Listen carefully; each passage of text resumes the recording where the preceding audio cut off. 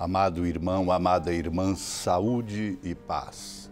A alegria da fé fecunde nossa comunhão congregados aqui na comunidade orante nesta hora, por graça de Deus, ao redor da amada Mãe Maria.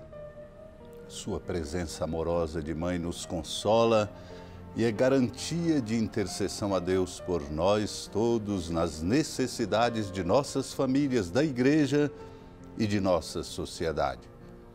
Discípula exemplar, Maria nos inspira e nos convida à escuta da palavra santa de Deus, interpelação que nos aponta o caminho e nos move na busca sincera da conversão de nosso coração. Vivamos este momento renovando o desejo de sermos tocados por esta palavra santa que nos sustenta no caminho e nos dá sabedoria.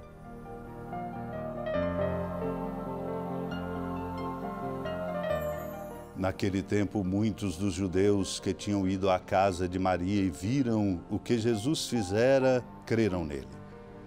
Alguns, porém, foram ter com os fariseus e contaram o que Jesus tinha feito. Então os sumos sacerdotes e os fariseus reuniram o conselho e disseram: Que faremos? Este homem realiza muitos sinais. Se deixamos que ele continue assim, todos vão acreditar nele e virão os romanos e destruirão o nosso lugar santo e a nossa nação. Um deles, chamado Caifás, sumo sacerdote em função naquele ano, disse: Vós não entendeis nada, não percebeis que é melhor que um só morra pelo povo do que perecer a nação inteira? Caifás não falou isso por si mesmo. Sendo sumo sacerdote em função naquele ano, profetizou que Jesus iria morrer pela nação. E não só pela nação, mas também para reunir os filhos de Deus dispersos. Amado irmão, amada irmã, com esta palavra profética de Caifás, somos chamados a concluir hoje a quinta semana deste tempo da Quaresma, abrindo nosso coração para a vivência fecunda da Semana Maior. Em muitos lugares, a tradição bonita desta semana que precede a Semana Santa, a Semana Maior, como Semana das Dores, é de uma densa espiritualidade, de meditação, de momentos de acolhimento da interpelação da palavra de Deus para compreendermos a riqueza deste mistério, esse mistério celebrado na Eucaristia Santíssima, este mistério compreendido, nos tocando por tradições tão bonitas, conservadas e vividas na simplicidade e na fé autêntica do nosso povo. Exatamente para que o nosso coração se abra e nós possamos nos deixar tocar e não simplesmente continuar a viver a vida sem a capacidade de percebermos a grandeza do amor de Deus que se manifesta.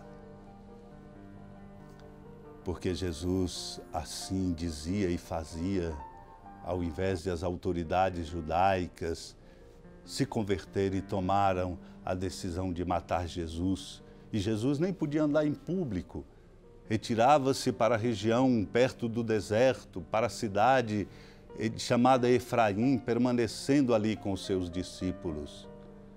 E a Páscoa estava próxima.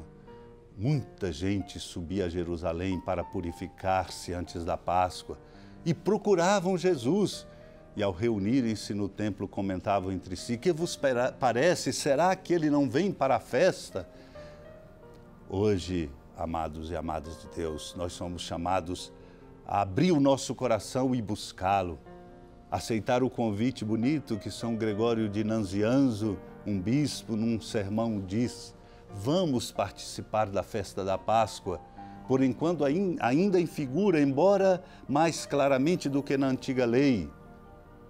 Vamos participar, mas em breve, muito em breve, nós vamos participar desta Páscoa, que não é uma figura velada da verdadeira Páscoa. Em breve participaremos de modo mais perfeito e puro quando o Verbo vier beber conosco vinho novo no reino de seu Pai, revelando definitivamente o que até agora só em parte nos mostrou. Amados e amadas de Deus, a nossa Páscoa é sempre nova. Qual é essa bebida e esse conhecimento? A nós compete dizê-lo e ao Verbo compete ensinar e comunicar essa doutrina a seus discípulos. Porque a doutrina daquele que alimenta é também alimento. Quanto a nós, participemos também dessa festa ritual, não segundo a letra, mas segundo o Evangelho, de modo perfeito, não imperfeito, para a eternidade, não temporariamente. Seja a nossa capital, não a Jerusalém terrestre, mas a cidade celeste, não o que é agora arrasada pelos exércitos, pelo mal, mas a que é exaltada pelo louvor e aclamação dos anjos. Sacrifiquemos para nos preparar para a Páscoa, não novilhos ou carneiros com chifres e cascos, vítimas sem vida e sem inteligência. Pelo contrário, ofereçamos a Deus um sacrifício de louvor sobre o altar celeste em união com os coros angélicos. Atravessemos o primeiro véu de São Gregório de Nazianzo. Aproximemo-nos do segundo e fixemos o olhar no Santo dos Santos. Assim celebraremos a aliança da Páscoa nova e definitiva e eterna.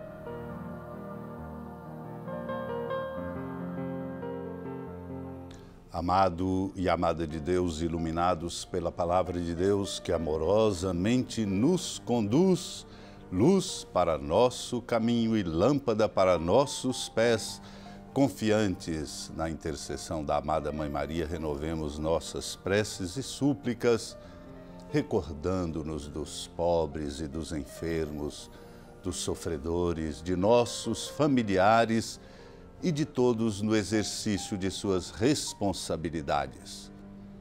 Particularmente, oremos por aqueles que nos pediram orações, por aqueles pelos quais temos obrigação de orar e por aqueles que sabemos muito necessitam de nossas orações.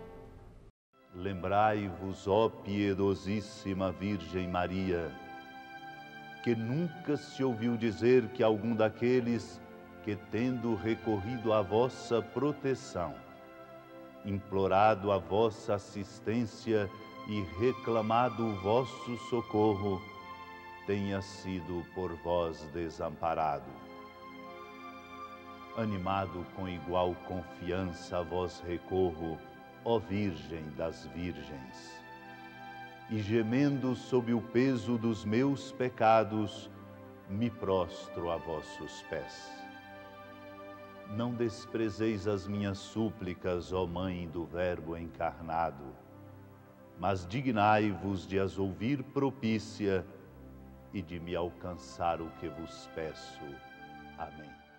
Com a alegria da ermida da padroeira do Estado de Minas Gerais, a Senhora da Piedade, que da sua casa de clemência e bondade nos acompanha e nos abençoa, do alto da serra, magnífica arquitetura divina, a bênção de Deus, amor misericordioso, Pai, Filho e Espírito Santo, desça sobre sua família, sustente sua vida, fecunde o caminho missionário de nossa igreja, nos encha de sabedoria e permaneça conosco para sempre.